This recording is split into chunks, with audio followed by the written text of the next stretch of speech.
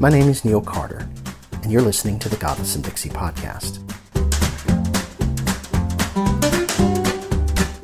For more thoughts about the challenges facing a former evangelical still living in a highly religious environment, visit godlessindixie.com.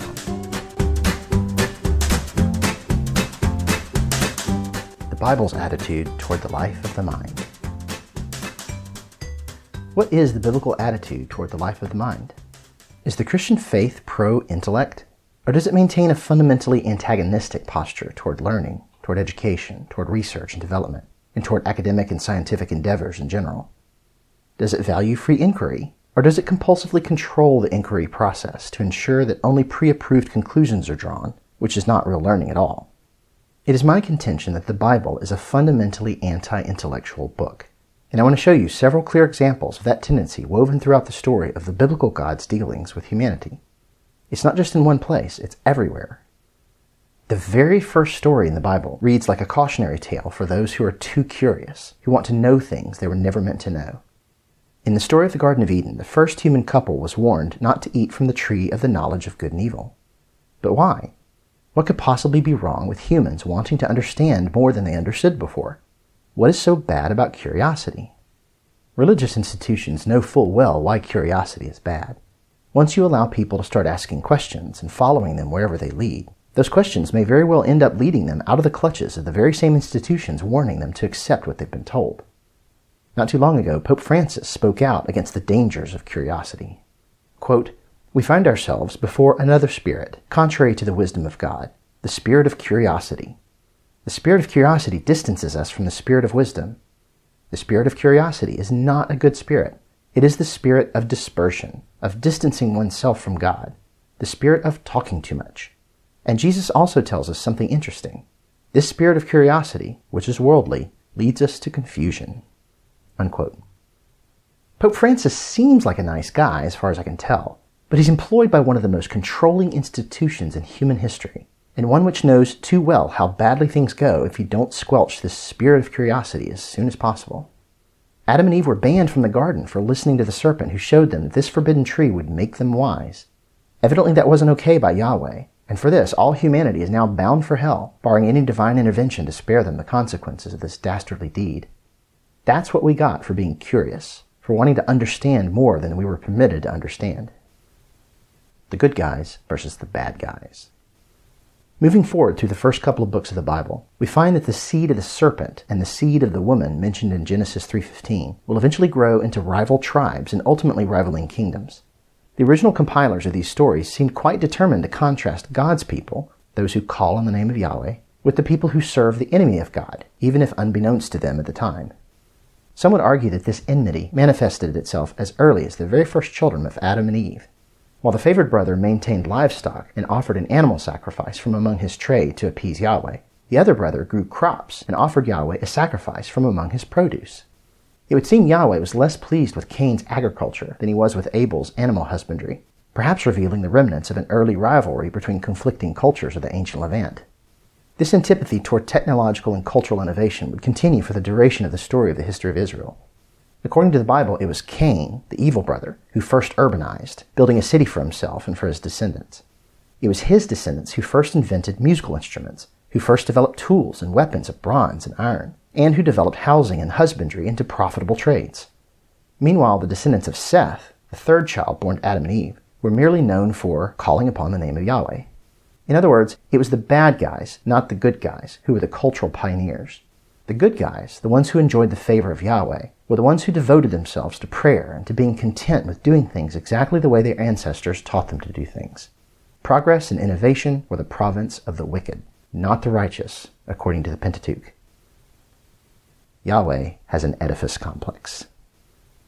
In Genesis 11, we find one of the most fascinating stories of all. No longer content with tents and huts of their forebears, some industrious individuals adopted a new way to make bricks, binding them together with tar so that they could build much taller buildings that reach upward into the sky.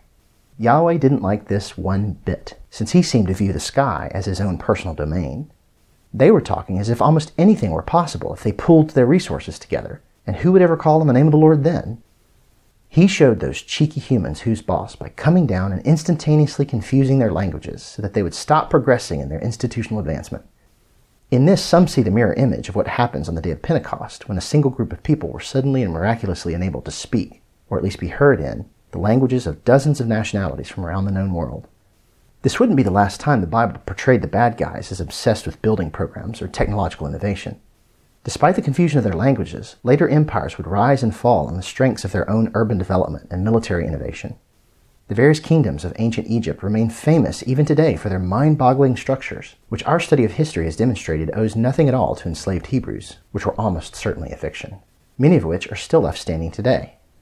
And let's not forget that insightful little comment left for us in Judges 119, where it says that Yahweh was unable to take the lowlands of a region, quote, because they had chariots of iron, unquote. Israel could very well have developed this strength of weaponry for themselves, but they seemed unmotivated to acquire that capability, since from their perspective, they were supposed to trust God to determine the outcome of their battles. Imagine for a moment what that mentality would do to a country. I'm sure there are arenas where piety is an asset, but governing a country among adversarial rivals doesn't seem to be one of them. The same could be said for a robust educational system, not to mention for industries which rely heavily on scientific curiosity and technological innovation. Moving forward through the Bible, we come to the prophets, the Psalms, and the writings of poetry. The latter two in particular speak a great deal about wisdom, which was the favorite word for learning among ancient civilizations. Only the Hebrews had their own peculiar way of addressing it. For the Hebrews, wisdom was never about learning for its own sake. It was never about free inquiry, per se, since the unfettered pursuit of knowledge struck them as a power grab, an affront to the supremacy of Yahweh. For them, wisdom must begin and end as an act of worship.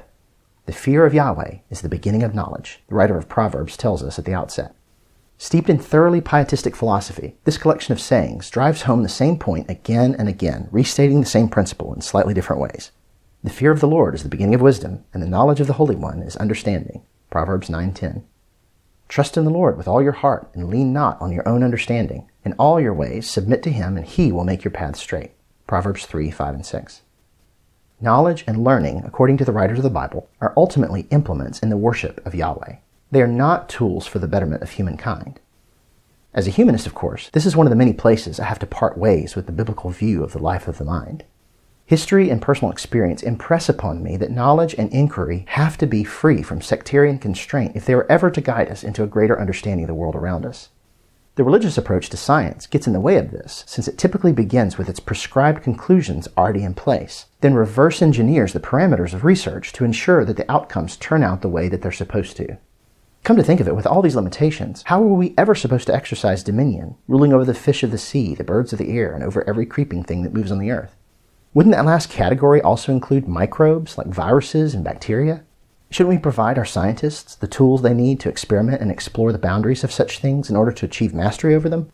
Yet, how many scientific and medical breakthroughs have been denied us thus far because pietistic groups and wealthy individuals refuse to allow funding on account of their religious hangups? How many cures for diseases are we currently denying ourselves because they would require advancing research into the use of stem cells? And wealthy fundamentalists simply won't allow anything that infringes upon their own imagined demarcations of personhood. The anti intellectual bent of the Abrahamic faiths holds back any culture which feels bound by its prejudices. I know that may not have always been the case in every generation, but it certainly is in ours. And that is the one I have to deal with. Anti intellectualism and the New Testament. Jesus himself was no fan of intellectualism either. He boasted that his message could only be received by the simple minded because God chose to hide the most important things from the wise and the learned. See Matthew 11:25. He would often point to a small child and say that you must become like one of them in order to really get what he was offering. But what is it about young children that so endeared them to him? Younger children are trusting, uncritical thinkers who automatically believe what their caregivers tell them about virtually anything and everything. Along the same lines, he went on to discourage planning for the future, a characteristic trait of intelligent beings, as if that were somehow a sign of weak devotion to the faith, a failure to trust God. See Matthew 6, 19 34. In my estimation, Bertrand Russell was right. Quote, there is not one word in the Gospels in praise of intelligence. Unquote. On the contrary, at times Jesus seems positively against it. But no one denigrated intelligence and education more blatantly than the Apostle Paul, the man supposedly responsible for writing 13 of the 27 New Testament books, and whose travel companions Mark and Luke are traditionally credited with writing a large portion of the rest of the New Testament. He boasted that his ministry deliberately avoided wise and persuasive words because faith, according to him, must not be founded on words of human wisdom. See 1 Corinthians 2 1 through 4. Like Jesus before him, Paul reveled in the knowledge that the overwhelming majority of his followers were not well educated or highly intelligent. See 1 Corinthians 1:26. He bluntly declared that the message he preached was foolishness to those not enlightened by supernatural revelation. See verse 18. Nor could it be understood by them because the human mind cannot properly grasp spiritual things.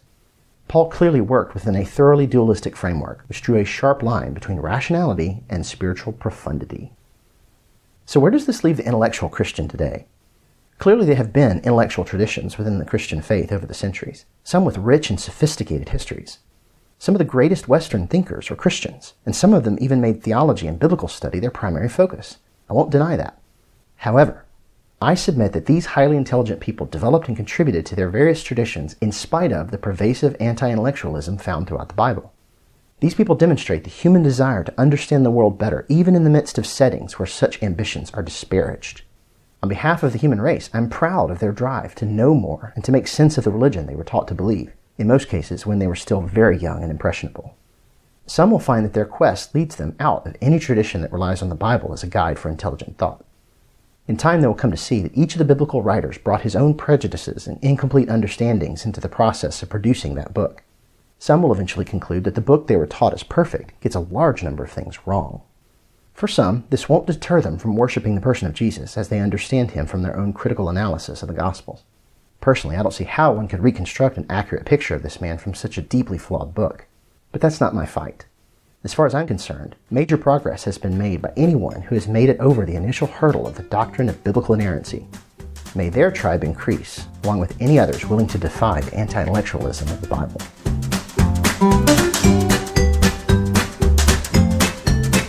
Thanks for tuning in to the Godless in Dixie podcast. Be sure to subscribe, and while you're at it, check out the blog itself at godlessindixie.com. If you're helped by what you've heard and would like to help me keep doing what I'm doing, you can become a sponsor through visiting patreon.com slash godlessindixie.